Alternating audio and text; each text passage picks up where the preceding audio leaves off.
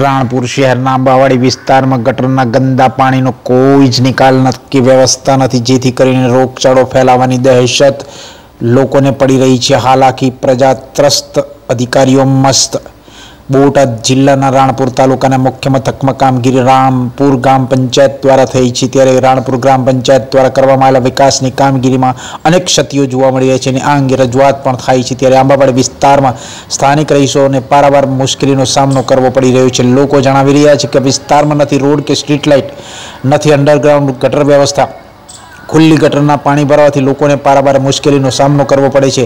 મચ્છરોનો ઉપદ્રવ ગંદકી અને દુર્ગંધથી લોકોના ઘરે માંદગીના ખાટલા છે. માલધારીઓ પોતાના માલ ઢોરને પણ બાંધી શકતા નથી. આ વિસ્તારના કોર્પોરેટ સુરત રહેણાંક ધરાવે છે. તો આ વિસ્તાર વતી રજૂઆત કરે તો કોણ કરે? સ્થાનિક લોકો અવારનવાર ગ્રામ પંચાયતમાં રજૂઆત કરી, પરંતુ હજુ સુધી આ અંગે કોઈ જ સમસ્યાનો ઉકેલ આવ્યો નથી. ત્યારે હવે જોવાનું રહ્યું કે વિસ્તારના લોકોની જે હાલાકી છે, ગંદકીના સામ્રાજ્યની કે જે ગટરો બનાવવામાં આવી છે, તે ખુલ્લી ગટરો હોય, જેમાં પાણી ચોમાસાનું ભરાયેલું હોય, જેથી કરીને મચ્છરનો ઉપદ્રવ આપ દ્રશ્યમાં નિહાળી રહ્યા છો, તે ક્યારે દૂર થશે તે જોવાનું હાલમાં કોરોના વાયરસની મહામારી હોય અને રોગચાળો ભરડો લઈ રહ્યો છે અને હજારો લોકોના મોત નિપજ્યા છે અને કુલ ભારતમાં એક કરોડથી વધારે લોકો કોરોના સંક્રમિત થયા છે. ત્યારે આવા સમયે ગંદકીના સામ્રાજ્ય એક તરફ સફાઈનું અભિયાન ચલાવવામાં આવે છે પરંતુ તે માત્ર કાગળ પૂરતું જ સીમિત રહી જાય છે અને સ્વચ્છતાના નામે મીંડું જોવા મળી રહ્યું છે. ત્યારે ગટરની સાફ સફાઈ કરવામાં આવે તેવી લોકો દ્વારા માંગ કરવામાં આવી છે. બેન શું નામ છે તમારું? મારું નામ રખુબેન છે. અમે ભરવાડ સમાજના છીએ. અમારે અહીંયા સાહેબ પાણી ભરાય છે. માલ અમારા માલ નથી જતો. અમે કોઈ જઈ શકતા નથી. અમારે ક્યાંથી ને જવું? અમારા માલ હડી ગયા છે. આમ તો કેદુનું એક વર્ષથી પાણી ભર્યું છે. કેટલી વાર અમે બધા જ્યાં મામલતદારે જ્યાં કચેરીમાં જ્યાં કોઈ અમારી રજૂઆત સાંભળતા નથી. અને સરપંચ એમ જ કહે છે કાંઈ આવશો જ નહીં મારી પાસે. તો અમારે ક્યાં જવું માલ વાળાને બધાને આ તમારા ઘરની પડખે તે આ પાણી ભરાણું છે.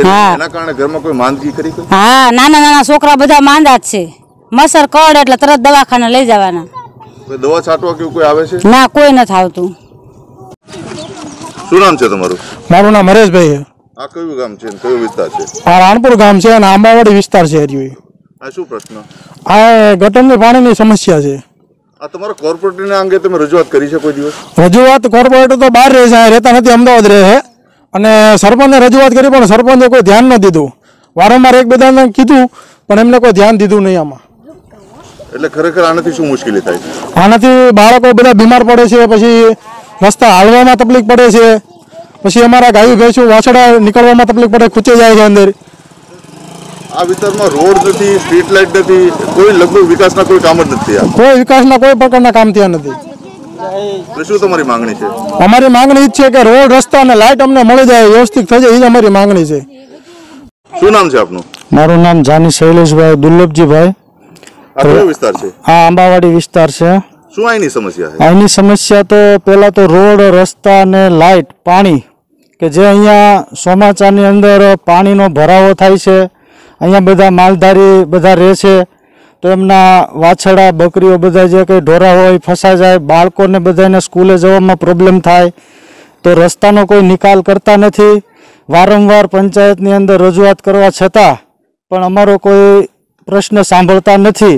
અને એનો કોઈ ઉકેલ પણ લાવતા નથી. અને બીજા નંબરમાં કે અમારા વોર્ડમાં જે અહીંયા છૂટાયેલા જે સભ્ય છે એ પણ અહીંયા આંટો મારવા આવતા નથી ને કોઈની સંભાળ પણ લેતા નથી. તો અહીંયા રસ્તાનો પણ પ્રોબ્લેમ વધારે છે. ચોમાસાની અંદર અમારે બાઇક છે, છોકરાઓ છે, એમને લેવા જવા પડે છે સ્કૂલ રિક્ષાઓ ફસાઈ જાય છે. બાઇક પણ અમારે બહાર રોડ ઉપર મૂકવા પડે છે, ચોરીનો પણ તકલીફ પડે છે. એમાંથી વસ્તુઓ પણ કાઢી જાય છે. તો આ બધો ઘણો પ્રકારનો આવો બધો સવાલ છે પણ કોઈ અમારું સાંભળતું નથી. આ ગટારું ગટરું ઉભરાય છે એના કારણે કોઈ રોગચાળો કોઈ રોગચાળામાં એવું છે માખી મચ્છર છે એનાથી બાળકોને માણસોને ઢોરાને બધાને મચ્છરના હિસાબે પણ તકલીફ પડે છે. દવાખાને પણ જવું પડે છે. તો અહીંયા પહેલા નંબરમાં તો રિક્ષાવાળાને બહારથી કહીએ ગામમાં કે ભાઈ આંબાવાડી આ ચાલશો તો એ તરત ના પાડે. કે ભાઈ આંબાવાડી નહીં ત્યાં ખાડા ખડી છે ત્યાં રોડ રસ્તા સારા નથી તો પણ એ પણ તકલીફ પડે છે. આ સમસ્યા કેટલા ટાઈમથી છે સર આ સમસ્યા આ રોડની સમસ્યા તો લગભગ પંદરેક વર્ષથી આમનામ જ છે. પંદર વારમાં ત્રણ વાર ચૂંટણીઓ આવી જાય પણ હવે કોઈ અહીંયા આવે છે મત માંગવા આવે છે ને પછી કોઈ કાંઈ ધ્યાન દેતું નથી. રજૂઆત